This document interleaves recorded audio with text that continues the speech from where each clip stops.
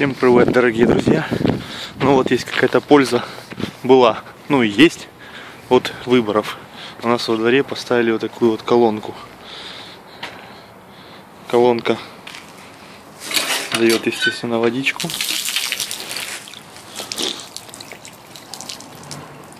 М, Интересно другое.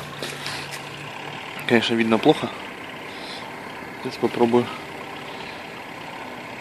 Вот здесь ГОСТы, куча каких-то данных, санитарные нормы. Вот. Ну, как по мне, блин, крутая идея на самом деле. Если в каждом дворе такое поставить, и вдруг не станет воды, то можно спокойно подходить, набирать, пить. Вода питьевая.